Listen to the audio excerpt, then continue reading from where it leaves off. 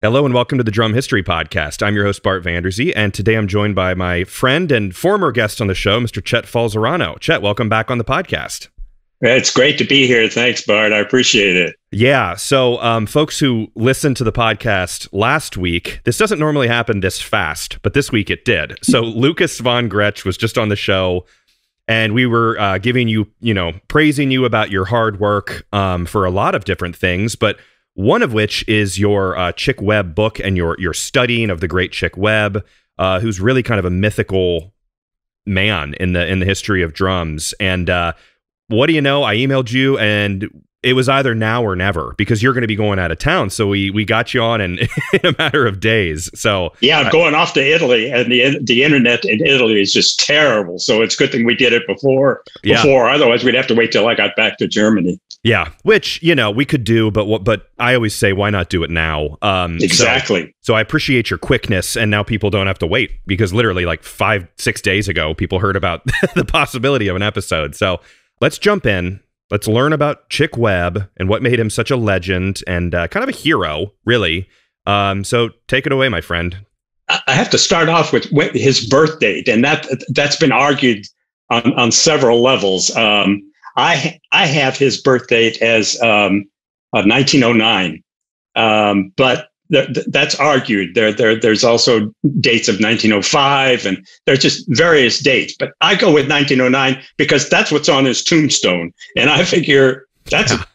got to be pretty correct, right? Yeah, yeah. But there's a census report that supposedly puts him um, uh, born at an, at an earlier date, but I don't really hold too much to census reports because they're full of a lot of errors. Even the Census Bureau uh, cites the number of errors that they have. So hmm. I go with 1909. He was he was born in 1909. Shortly thereafter, as an infant, he fell down a flight of steps in front of his house, and he crushed some vertebrae. The doctor prescribed him to uh, bang on pots and pans to improve his upper body strength. Wow. That obviously turned into something because he became a drummer. Yeah. Um, he had a, a, paper route as a young boy, earned the, the money to to to to buy a, a, a set of drums, and he played in and around the the Baltimore area. That's where he was born. Is in Baltimore. Well, that's fascinating right off the bat. Of like a doctor prescribing banging on pots and pans. I mean, like it's like a well, be, movie because he. He, he was he was in bed. He was bedridden, and and and his mother said, you know, he, the doctor says he needs to uh, improve his upper body strength. He needs to be, stay limber and, and, and, and flexible. And his mother said, How's, how are we going to do that? She, he says, well, every kid loves to bang on pots and pans. Let him drum. So that's how it all started. Yeah. Unbelievable. That's so yeah. cool. Good for the, the, the, the history of drums in general. Uh, we can thank that doctor. yeah, exactly. Exactly. At least for Chick Webb we can. And then, uh, as I said, then he, he, he, he bought a set of drums. He played in and around the, the, the, the Baltimore area. His first gig was on the jazz, was with the Jazzola Orchestra on uh, the steamship cruises in Chesapeake Bay. And there he formed a relationship with uh, John Trueheart, who was the banjo player uh, for the Jazzola Orchestra. And uh, they decided to to make a, a, the move to, to the Big Apple. Chick was was was only 16 years old, and John Trueheart was just nine years was was nine years his senior, which is quite a number of years, you know, for a for for for a 16 year old than to be going with a 25 year old yes. you know that's that's quite a bit of difference. So they they went to the big apple. He uh, uh, the, the two of them um, located in in harlem in a one room apartment. And uh, like all budding musicians they had to prove themselves. And so they did that by going to jam sessions in and around the the harlem area. Hmm. Uh, one of the first uh, clubs that they went to was uh, Small's Paradise. And performing there was Duke Ellington. And in Duke Ellington's band was Johnny Hodges, which was also uh, Chick Webb's cousin. Hmm. So that also helped him, I'm sure, to get get a start at, at Small's Paradise.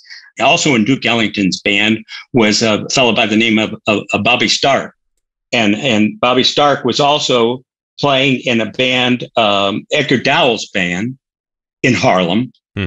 and Edgar Dowell was auditioning for a club uptown, and um, Chick went along with him to that audition, but Edgar Dowell's drummer was stuck on a subway.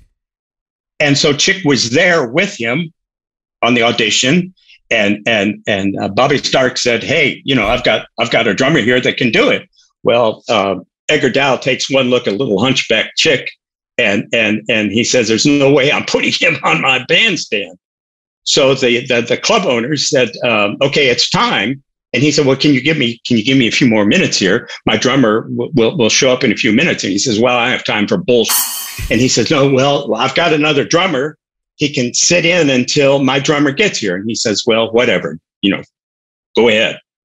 So uh, um, Chick Webb starts starts playing, and it just wins over this club owner because Chick is just doing high sticking and twirling, and and, and and besides being a very accomplished drummer because by he he he he he was like an instant drummer. He he um, he proved himself in in Baltimore, but then he also proved himself in in Harlem. Yeah. And uh, Duke Ellington was was his was his mentor. Hmm. Um, and so um, that was his first gig was was the Edgar Dow band, and it was just a fluke. You know, yeah. just he just just happened to be at the right time in the right place. Well, and and so you mentioned, I mean, you did talk about it, but just to kind of like uh hone in on it a little bit, you mentioned his hunchback, and he's kind of, I mean, he had like a uh, a handicap. I mean, he was a bit disfigured. And on your outline here, going back a little bit to his earlier days, you I just want to touch on how you said in your outline, due to his contorted shape, friends called him Chick, and that would yeah. ex- explain that a little bit uh, more.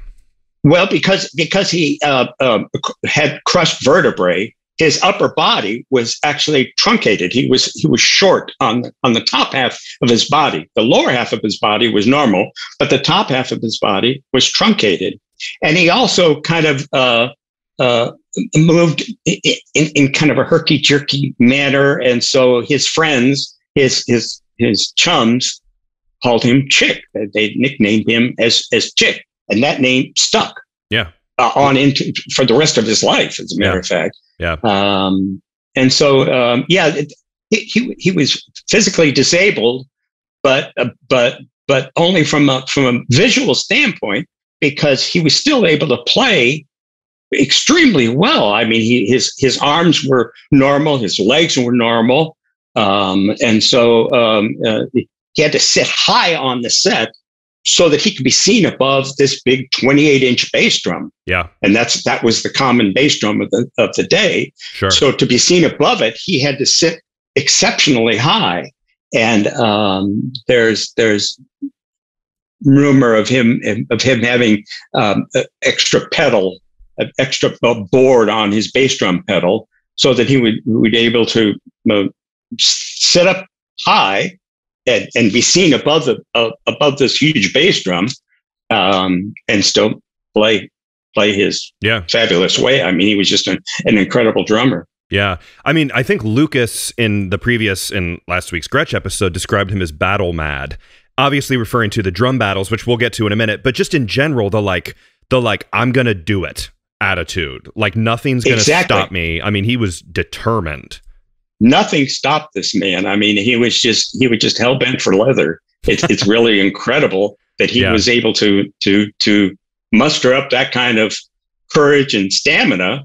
Uh, meanwhile, being ridiculed, you know, he, even when, when, when he was first getting started there in New York, when he was first getting started in Baltimore, I mean, everybody was was ridiculing him because of his appearance, yeah. because he was, you know, was they called him unfortunately, it's a terrible word, but they called him a midget.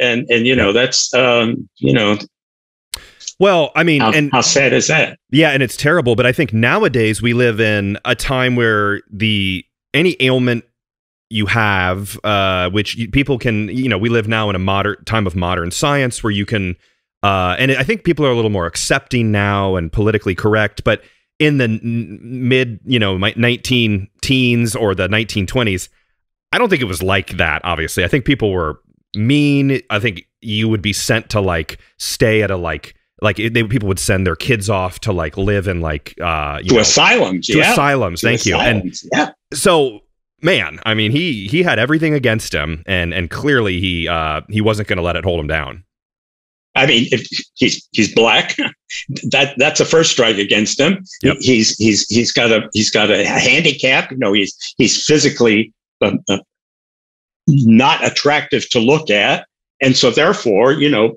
people didn't want to hire him. Yep, yep. Until is, they realize how good he is, and then it, it he starts to win people over with his sheer talent not even then you know i mean he wins people over like like uh, duke ellington who who just recognizes just a, a god-given talent you know and and and and and, and promotes him and in fact uh, duke ellington organized chick's uh, first job as a band leader he was playing at the kentucky club duke ellington was he was playing at the kentucky club and the black bottom needed a band and so um, uh, Duke Ellington said to him, I've got a, a great band.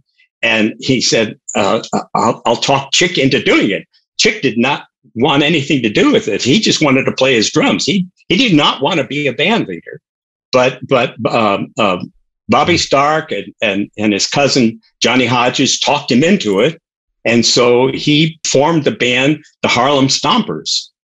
Hmm. And they played their first gig was at the Black Bottom what does that entail to be a band leader as a drummer? Like, what would that would that be choosing the like writing out the charts, getting things set up? How, what would his job be as a as a drummer band leader? Well, that's what he didn't feel very confident in doing, and and and and that's why he was happy to have John Trueheart um, as as his sidekick because John Trueheart was able to cover all those bases to do arrangements, to do charts, to you know, to to, to, to organize the, the the members of the band, and sure, and and so you know, he he really didn't have the qualifications. That's why he didn't want to do it. He just wanted to play his drums. Gotcha. But but Ellington talked him into doing it, and and fortunately, he went with it because you know he became quite a band leader then. Hmm. Yeah, I mean, when you think about it, I mean, looking at articles, which we'll get to, uh, you know, a little bit down the road on the timeline. I mean, he was a band leader. He was known as a band leader. He was famous for it. So he he he really, again, he he kind of uh, like excelled at every challenge that was put in front of him.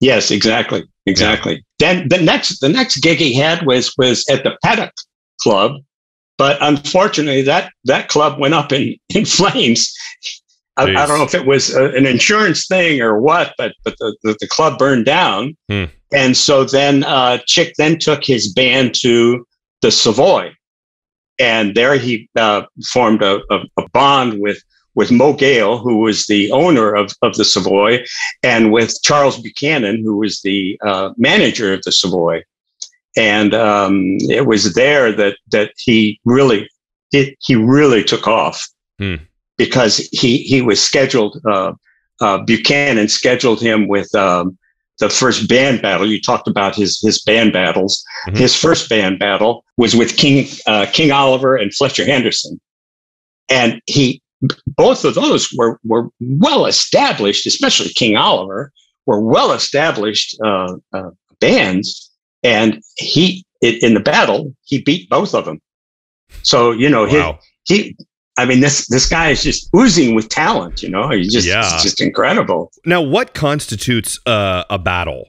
Would it be drummer versus drummer, or is it like is it like a clapo meter where who gets the loudest cheer from the audience, or or what? Exactly. It's it's it, at the end of it's the end of the evening. The the the, the audience decides via an audience meter uh, who won the battle, and you know it was it was just a it was a pairing off process and uh, first, he he beat uh, Fletcher Henderson, and then uh, the next battle, then then he had to go up against King Oliver, and you know the audience gave him the victory. Then the next thing, the next big thing that happened to him was he was uh, he was used in a Paramount Lasky Pictures after Sieben, it's a terrible minstrel show. Yeah. And um, it, it's really kind of sad to see him perform in that. But, you know, hey, it's, it's, you're working your way up to the top. You take you take what you can get, you know. So yeah, that's that's the first one, and the second one was was a very short clip of him at the uh, Savoy, and it it was just a silent clip, and I I ended up putting it up on on YouTube. Um, I started off with with this uh, with this after Sieben, and then I segued into uh, um, a short clip of of of him silent film, but I put it to music mm-hmm. uh, of him of his of his orchestra. Yeah, you know, and, and we're judging it by today's standards. You know, back then, you know, minstrel shows were were commonplace. Yeah. And if if if, if you look at the the, the musicians in his band in, in, the Harlem Stompers, if you look at the expressions on their faces, they do not look very happy doing this. But yeah, you know, a gig is a gig. You know, I mean, it's yeah. All we can do is kind of shrug and go. I guess it is. You know, we we we can learn from the mistakes of people in the past and and and move forward. Um, but so on the timeline here, which getting, I was about to ask, what about some drums that he's playing? But it looks like we we're now getting to a point where he's getting his first endorsement with Leedy. His first endorsement is with Leedy, yeah, and um, um, actually, it, it, he didn't get much of an endorsement. He's in one of the Leedy topics. It, there's a very short article uh, of him, but you know he's he's not promoted very well within Leedy. The next endorsement was with Frank Wolf drums. And again, the catalogs don't really uh, give him his due, but that set is the iconic set that has that caricature on the bass drum. Yeah, and uh, that was that was a result of of uh, a guy by the name of Boy Ten Hove, who was a, uh, a, a cartoonist, and he he did all the uh, old jazz greats, uh, Artie Shaw, Duke Ellington, um, uh, Louis Armstrong. He has all these caricatures, and Chick liked his caricature so much that he had it put on the front of his bass drum. Yeah, yeah. Which is what yeah. you think of when you when you think of Chick Webb. Is this? It's it's your classic like uh, you know carnival or whatever caricature where everyone's got a big huge chin and huge accented you know features on their face but boy, it's it is good, and it's it's he he sells himself really well. Like his face, and he's always smiling. Obviously, he's he means business. We know that it's not all just smiles and happiness, but like he he, he's putting himself there and and the picture on the bass drum he's got a crown on so he knows that he's he's calling himself the king but uh he's he's really he knows how to sell himself he does you're right yeah yeah yeah yeah. The next big thing then to happen to him is is Ella Fitzgerald. Moe Gale had told him that he really needed a, a singer. Uh, he had Charlie Linton as a singer, but Charlie Linton, if you listen to any of his recordings, he's not a very strong singer. Mm. And um, so he was he was searching for a singer, and his his frontman Bardu Ali went to the uh, Apollo uh, Amateur Night, and he discovered Ella Fitzgerald. And he brought Ella to Chick. And Chick then brought Ella to Moe Gale. And, and, and Moe Gale said, no way, because Ella, not that she was horrible looking, but, but she was, she was a street person. She was a street urchin. She was a waif. And so, you know, when, when they brought her in, she had, she had army boots on and, you know, an, an old tattered dress. And yeah. so you can imagine bringing her into Moe Gale's office Moe Gale said, no way. And Chick Webb said, uh, no, you got to don't look at her, listen to her. Yeah. And he did. And she was hired. Wow. Instantly. I mean, yeah. Chick knows that battle of like, don't look at her, listen to her. That's the story yes. of his life, really. And that's his story too. You know, yeah. I mean, don't don't look, listen. Yeah, and, exactly. And, you know, it, it, it's the same thing. Yeah, it's now, kind of a dual duality there. Before we move on here, I want to ask you the question about uh, we have on your timeline um, Gladstone Cymbal Association. That well, it's it's a hand sock cymbal, um, and and Billy developed that. He developed that with the with the Leedy Corporation, um, and that's where the association started. Was was when Chick Webb uh, was endorsed by by Leedy. He took a liking to these hand sock cymbals, and if you go on uh, YouTube and and pull up "Dog Bottom" is the name of the piece. He's actually playing them on mm. on, and that's the only percussion that's on on the cut is is are these are these sock cymbals. They're just handheld cymbals that that you can also play on. And it was beginnings of of the hi hat. There wasn't sure. a hi hat back in those days, and and so they had low boys and these hand sock cymbals. Yeah. Would he then keep that like uh, I'm trying to think of the ease of picking it up and playing and switching. Would he keep that on like his trap table in front of him, basically on kind of on the top of his bass drum and grab it when he needed it and play it? Yeah, yeah, but but um, I, I, don't think he played it all that much. I think there's only like two two cuts that I've found on YouTube where he actually where he actually plays them. Yeah, got it. Got yeah. it. I, I should say I should have said this at the beginning. Chet is also an expert on Billy Gladstone. So his previous episode is all about Billy Gladstone. So I, I recommend people checking that one out as well, which kind of dovetails nicely. This is both of your your passions coming together. Both of my passions, yeah, exactly. That and Gretsch, all, all three of them: Gretsch, Gladstone, and and and Chick Webb. Yeah, yeah, yeah. it's a it's a lot of Gretsch recently. I was I was saying before that like I I, I hadn't done a lot of Gretsch episodes uh, for a long time, but now we're going hard with Gretsch uh, in the in the last couple weeks, which is great. That's so, a good thing. yes. Carry on here. I think we're we're moving on to the Apollo Theater. Ella Fitzgerald uh, shows up for the for the uh, for the audition night for this talent show, and uh, she shows up um, wanting to be a dancer, but unfortunately, uh, a pair of, of dancers called the Edwards sisters had appeared as the final act. And so the next thing that occurs is this talent show. Well, Ella says, there's no way I'm going to go out there and dance when the Edwards sisters, who were, who were very famous uh, dancers in Harlem, uh, had just appeared. She says, there's no way I want to sing. And so, you know, the, the stage manager says, you kind of, you, you kind of make rules up as you go here, don't you? And she says, yeah. And, and so she sings and he says, well, what do you want to sing? And she ends up singing, singing the object of my affection and Judy. Hmm. And uh, as I said, Bardu Ali uh, had, had, was there that night.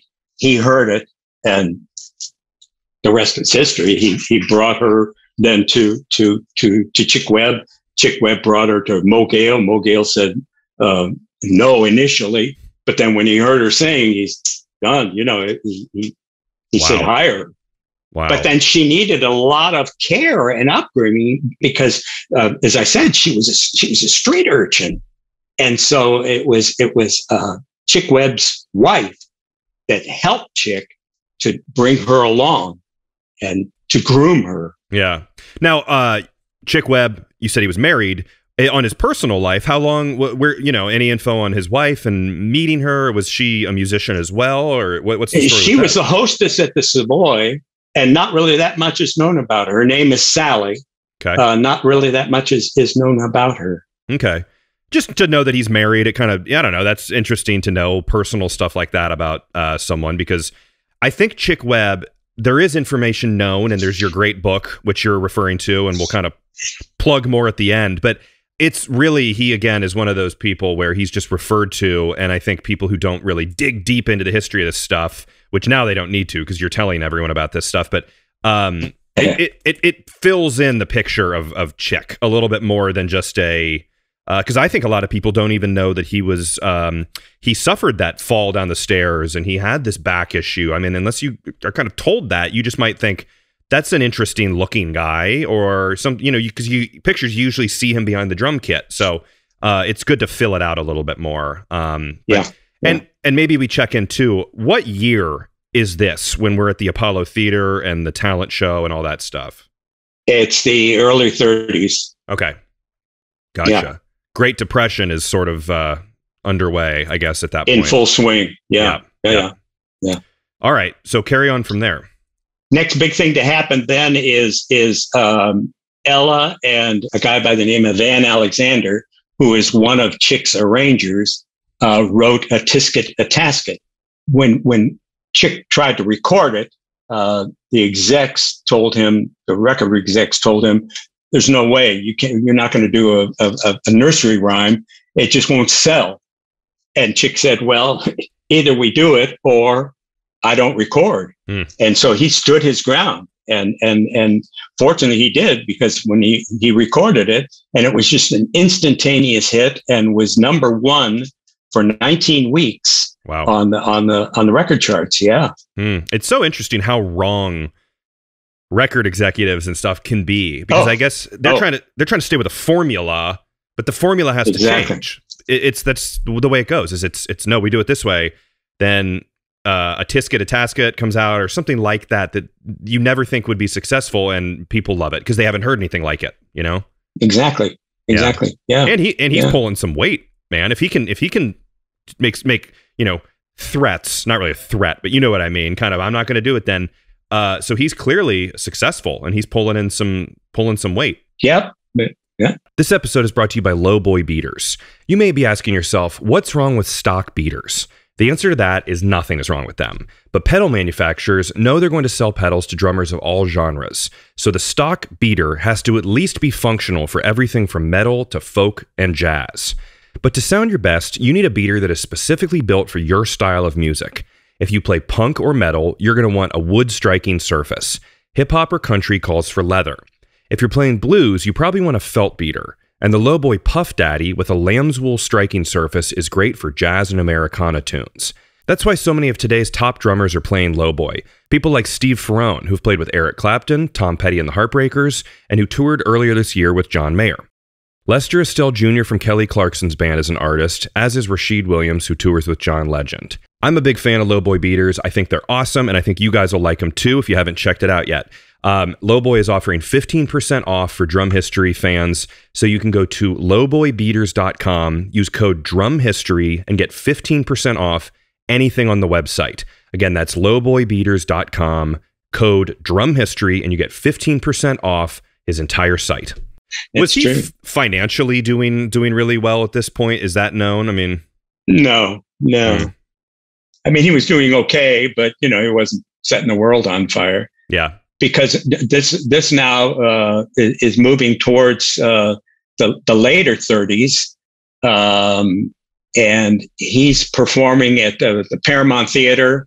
He, that's where the, the Tisket Tasket was, was was, was initially performed and and did really well, and then it, it just went wildfire all across the country. Interesting. Yeah.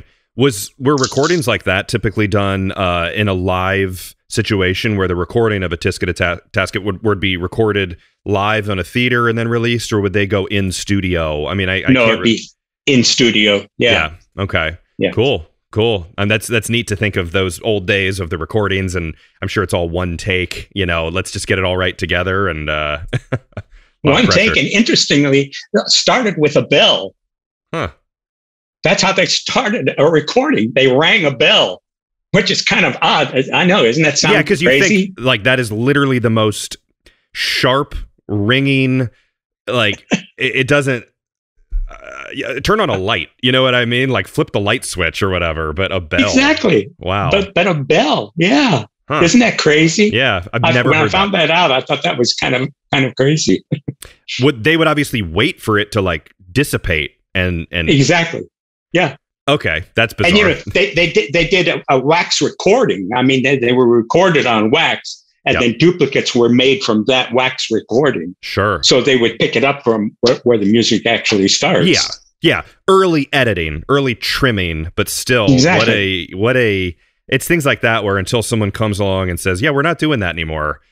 You kind of just they just keep doing it and doing it. Why That's, are we ringing a bell? Can't we turn on a light? Isn't that a, an easier way to cue? To or just say just say we're recording. exactly. That's funny. So Chick is uh so he's like in his 20s at this point. So he's he's yes. a, you know grown man doing this, working as a musician.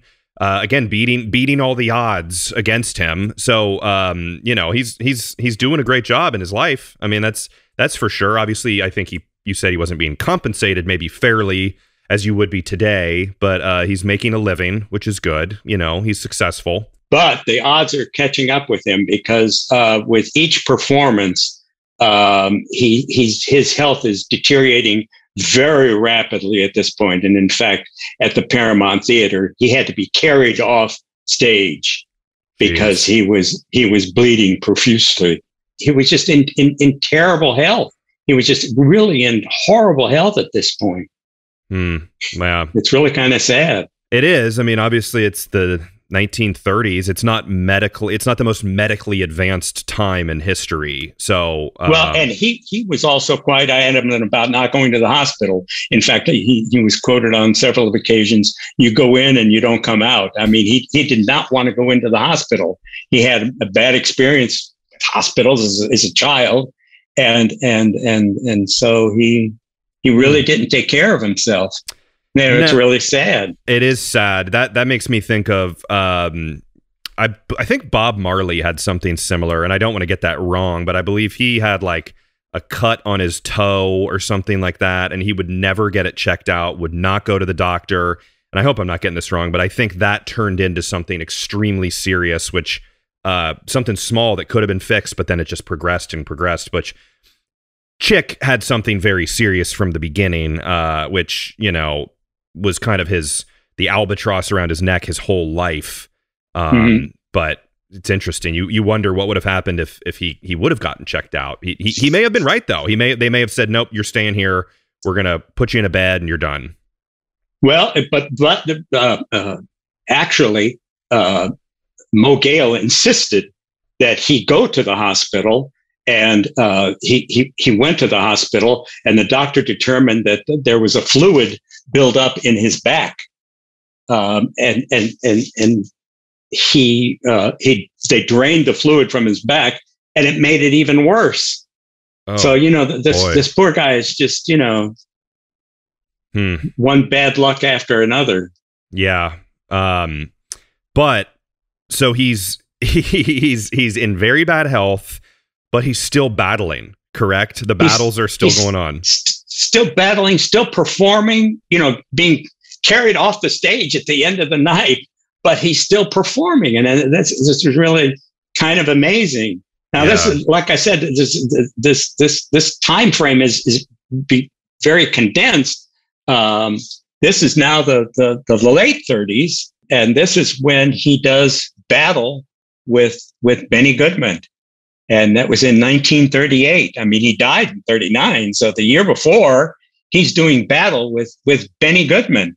Jeez. And uh, th- this is a whole new subject to, to talk about here. Is is is the is the is the Goodman Webb battle, and there's been much much said about it, and um, you know it, it inevitably the stories tend to grow obviously Krupa was playing with Goodman at the time, and and and there's been many places where you'll see where Krupa is, it, it says that he was never cut by a, a better man, and I, I, really.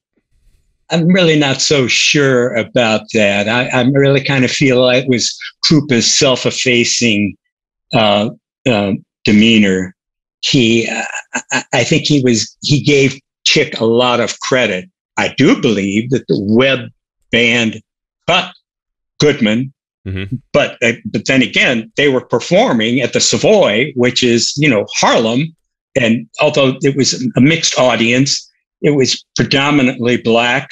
Yep. You know, you, you there's there's there's a video of Norma Miller and um, and Frankie Manning, and and they talk about about how Chick routed the Goodman band. And, and, and I don't think he actually routed. He may have defeated them at the Savoy, naturally, because, you know, that's his yeah. home turf. Home court right? advantage. Yeah. Exactly. Home court advantage. Exactly. Hmm. So I think a lot of times, a lot is made of that battle.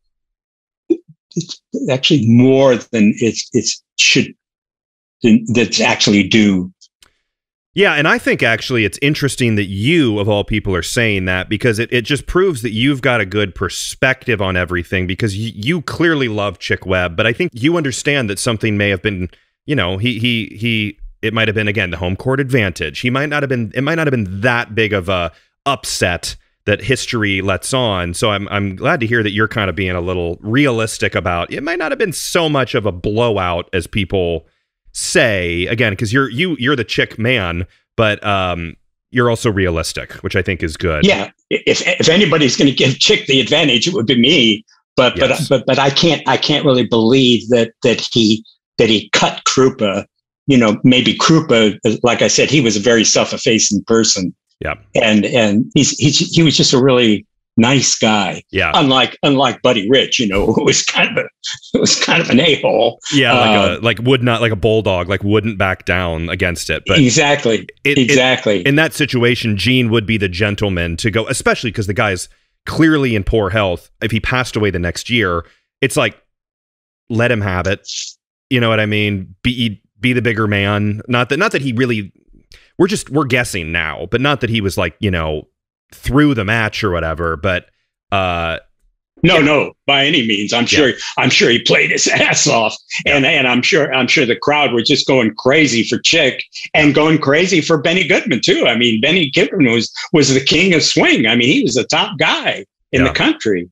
I may be wrong, and, and there are people who I know will say that I'm wrong and, and say that you know that that that that that, that, that he cut Krupa but I, I just can't believe that because you know Krupa was just a, a, monster player. Yeah, and so you know, and and though that chick was as well. Yes. Um, yeah. It, it, as I said when when we when we were talking before we started this, I'd like for you to play uh, the cut Liza you'll hear Chick Webb play. I mean, this is this is like weeks before he died, and and you will not believe the tempo that he plays Liza at. Hmm. It's just incredible. It's a live broadcast from 1938. That's that's one of the, the few broadcasts that was recorded live. Um, it's just it's just phenomenal what he what he plays.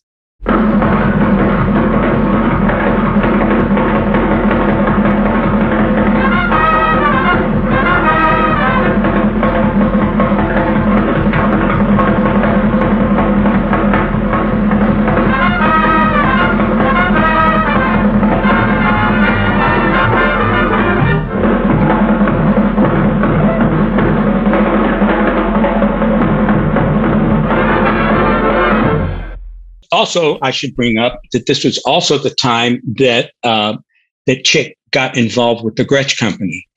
he's on the 1939 catalog, the 1941 catalog. He's gone because he's dead. Jeez, I know. Isn't that wow. sad? Yeah. I mean, it just yeah. Th- he was just coming to his own when.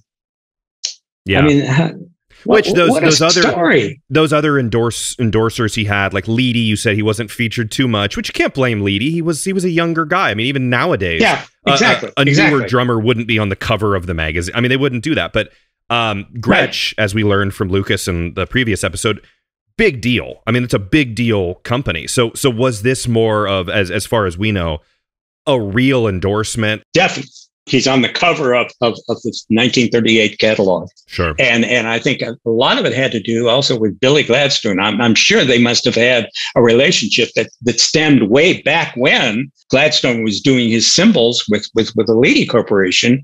Yep. Uh, you know, so you know, there's like 10 years in the making there of, of a relationship. Yeah. And on this Gretsch cover that you're referring to, I mean, he he just exudes like he, he's cover material. He's got the yes. look. He's he's doing the, the big like as, as nowadays I think of it as like oh that's a great thumbnail to put on YouTube or something like the little photo exactly. that makes people click it. It makes you want to read. I mean he's got he's just got the style and he's a, such a big huge smile on his face. You know. Yeah yeah yeah yeah yeah exactly. Yeah. Well, exactly. that's that's a shame. But he so he got some good gear. Was, was do you know any details of the endorsement? Was he just here's a new drum set or you know how did how did that work? Yeah, he, he had that iconic set yep. with the chicks that go around the, the perimeter of, of the drum. It's on all four drums uh, the snare, the tom tom, the floor tom, and, and the bass drum. Yep.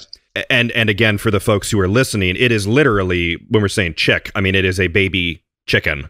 A chick was yeah. his was yeah. his logo, uh, and it would be green, correct? Green. it was a, it was a white pearl drum with little green chicks going around the center, and I, I credit uh, John Cohen with that. He he was the one that um, uh, he's another historian. Uh, John was the one that uh, told me that they were they were actually green. The little chicks were green because they're all black and white photos. So yeah. how, how, how, do you know what color was? But but somehow he um, was able to find out that they were they were green chicks going around drum. Which is fascinating. I mean, and and that's a pretty tall order. I mean, I think if I called Gretsch today and I said, "Listen, I want a white marine pearl drum set with green little chicks around it," I mean, that's a serious custom order you know yeah like to get that oh, yeah. that yeah. inlay i mean he must have pulled some weight to uh to get such a a, a drum set like that exactly exactly but you know he was he was top guy i mean he you know he had this fabulous uh Tisket, A-Tasket and and he, he was just his recordings he, he was just a plethora of recordings at that time. Yeah. Yeah. All right. So i mean we are we're getting close to his death right? I mean we're we're very close to it. So what what happened? You know what where where from where we were with the battle with benny goodman and and all that stuff what what happens from there till the end? Well he he was playing a, a cruise and he was he was having substitute drummers pitch hitting for him on on many occasions they would gotcha. have to bring in other drummers to cover for him hmm. and he was he was playing a, a, a cruise and um, he, just could go on no further and they he went to to Baltimore, and he was dead within a matter of days. What was the yeah. official? Was it just due to his ailment that he was he's had his whole life? Yeah, it, well, it was the tuberculosis of the spine, but it was complications of that. I see. Um, yeah. Wow. Yeah. Terrible. I mean, but again, it's terrible, but talk about an amazing life for such a short time. So he was in his 30s, right? I mean, he would have been uh how old was he when he died? He died at age 30. Wow, another one of those. I mean, he's up there with John Bonham, Keith Moon. You get these famous drummers who just died when they're super young. Those were different situations. This was a serious, I mean, tuberculosis of the spine is a different he wasn't a party, you know, partying hard and stuff. No, uh, a hard no. lifestyle. In fact, I, I think he led a very, very clean life. Which maybe that helped with his longevity that he did have. All right. Well, that's just wild. So I see in some photos that you sent me, there is a what looks like there's someone, uh, Judith, I believe is her name, working on a Chick Webb drum set. Explain the the gear. What what what I'm looking at here. Okay, what you're looking at there is I found a Gretsch Gladstone that was uh, painted black. And I didn't know what to do with this drum. I had no idea what to do with it. And I thought, hey, why not make a chick commemorative drum, a, commemorative Chick Webb snare drum, right? Mm, yeah. So um, I got the, the, white pearl and and and, and, the, and the green sparkle, and I got those from uh, Brooks Tegler, who's uh, another historian. Yes, I, I'm okay at covering a drum, but cutting out these little chicks my wife is the artist. And I said, would you do that? And so uh, she cut out all the little chicks to, to, to paste on this drum, this hmm. snare drum. Um, and then shortly thereafter, um, I was looking at eBay and I saw the, the, the gooseneck cymbal arm set with the bass drum, and the rolling console and the track table. Yeah. And so I, I, bid and I got the thing and I thought, well, why not make, I didn't, I didn't want, uh, I didn't want to try and recreate the Gretsch Gladstone set because um, I just didn't want to do that. I wanted sure. the, the, the, the set that has the caricature on the bass drum and that's a Frank Wolf set. Yeah. So what I did was create a Frank Wolf set, but again, I needed a, the front head to be painted. Judith is the artist. Um, she, she, she painted the front head. Yeah, um, it, it, looks incredible. I mean, she did a great yeah. job. Which again, check. I'll, I'll put up the photos um, on the the page for this on my website. It'll be on the video, so folks can kind of click around and, and find that. But boy, she did an amazing job on that. Yeah, yeah, she it's it's really amazing. And I will say that you, uh, I think it's something to be proud of here. If this is what you paid for that drum set, that's a pretty good deal. It says like seven hundred bucks for that that uh, Premier Olympic drum kit uh, pre-war. That's a good deal that was an, an incredible deal. I yeah. was just, I was on pins and needles. I was holding my breath that this thing didn't get bid up, right? Yeah. Because you know how those things can go. They can get, they can just get bid to to yes. astronomical levels. Very know? quickly. I'm sure you were refresh, yeah. refresh, refresh, checking. yeah, yeah, yeah, exactly, exactly. Because I had my limit, you know, and it oh, wasn't, it wasn't much more than what I had put down there. Yeah, yeah, yeah. I mean, really, as like a as a fun thing that's kind of a homage to one of your you know heroes um you don't want to pay ten thousand dollars for not that you would no. for something like that, no. but um, that's crazy. It, it, was meant to be. I mean, that's just awesome. Yeah. And then so you got that Gretsch Gladstone snare drum. It looks like at Guitar Center. Guitar right? Center. Boy, yeah. did they know what they had? You know, or was this uh, was that a good deal as well? Well, yeah, yeah, it was a pretty good deal. I ended up paying nine hundred bucks for that, and that was a steal. yeah, yeah, okay. Yeah. You got to know what yeah. you're looking for, which you clearly do uh, from from doing this, because I'm sure people walk and right a lot of luck too. Yeah. In your opinion, why has he mm-hmm. become mm-hmm. such a mythical man uh, I feel like I know the answer, but just don't want to hear kind of the experts say it because he really is up there with the the legends of drummers, Gene Krupa, Buddy Rich. But we we have so few, like Gene and Buddy were so much more documented. You know, why do you think Chick is the legend that he is today? Only thirty years old. 30 years old and look what he accomplished. I mean, that, that, that he, he accomplished in 30 years what takes everyone else a lifetime. Yeah. He was able to do it. Yeah. Yeah, exactly. Besides being an incredible drummer. I mean, you know, uh, Buddy Rich calls him the granddaddy of them all. Buddy Rich thought thought he was was just the the, the best. Yeah. And there's something about when people die young, it puts them in a legendary status without a doubt. Exactly. There's no no denying exactly. that. Um, Especially when they've been associated with people like Ella Fitzgerald, who you know then lived on for many many many years and had a had a had a glorious career. But but you know when when when uh, when Chick died, she was number one uh, in the um, uh, Melody Makers uh, poll for female singer she was mm. number one, wow. beating Billie Holiday. Hmm. Chick dies and she goes to number 17. Interesting. What do you think yeah. that is? What do you think? Why do you think that is? Because he, she didn't have him to nurture her along. You know, later yeah. on, then she she she hooked up with Norman Granz, and her career just took off to you know just incredible. And you know, I've had people say, "Well, she was such a great singer; she would have made it anyway." Well, not necessarily true. This was during the Depression, you know, and, and there were, I'm sure there were lots of, of great singers during the Depression that, that, you know, never saw the light of day. Yeah.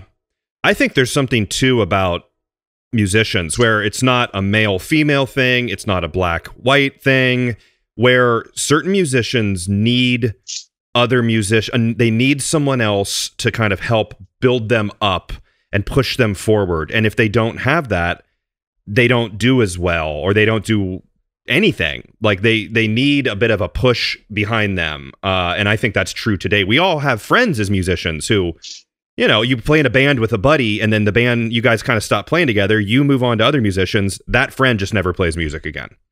Exactly. We all had that happen. So, um, yeah, yeah. I think that on that note, that is the most true thing I think that we can say about him is is he is an inspirational story, one hundred percent.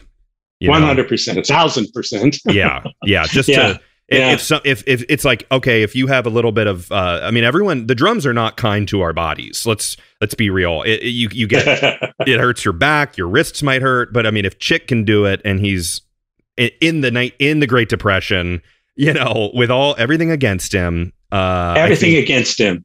Yeah, you can make it work. And shame on you for for, for whining, right? I mean, yeah. Look what this guy was able to do. I mean, shame on you for it's, it's for whining about oh, I didn't get paid enough, or I didn't get this, or I didn't get that. You know, come on. Are sure. you kidding? it's a kick in the pants. Look at look at Chet. yeah, exactly. So, Chet, this is just awesome. So, uh, do you want to tell people if they want to learn more? Because obviously, this is a pretty quick um, overall look at his life, but about your book. Tell us about your book a little bit, which people can get, and um, you know, more information about that masterpiece right there. well, I don't know that, that's a, that it's a masterpiece, but but it, it, it's something that, that that again Judith helped me a lot with this book as well. What's the best place for people to find the the Chick Webb book? Amazon. Amazon. Yeah, that's usually. Yeah. I ask because sometimes, like, you know, if I can direct people to their website or wherever to kind of cut out the yeah. middleman, but let's be real, Amazon is probably the best place to get most stuff. Um, yeah. so, awesome. Well, um, Chet is kind enough to stick around and do a Patreon bonus episode today. And we're going to talk about the process of uh, researching a drummer such as Chick Webb, where there might not be so much information, but he had an experience with Van Alexander, who we talked about before, where he got to meet him and learn from him, and he was 99 years old. So I'm excited to learn about that. Um, so if you want to hear that short little bonus episode, you can go to drumhistorypodcast.com, Patreon link, and uh, you get the, this and then a bunch of other bonus episodes uh, from people like Chet, which I'm excited to hear about. So. Chet, my friend, I am so happy to have gotten you on in such a quick amount of time. I mean, this was like a two day oh, turnaround, and uh, my pleasure, my where, pleasure. I'm glad we were able to do it. Exactly. Where I was going to say, Lucas, he and I talked for like two years before getting him on the podcast. So you were you were the opposite. But uh, uh, thanks again to Lucas for for really kind of he. It happened in real time. He said you got to get. Um, we were talking. It was like you know, Chet is the man for Chick Webb, and it's like, well, I'll do an episode with him, and here we are. It's done. Here we are it's done. yes. Awesome. Chet, well, thank you so much for being here. And I appreciate thank you, you Bart. sharing your knowledge. Thank you, Thanks. Bart.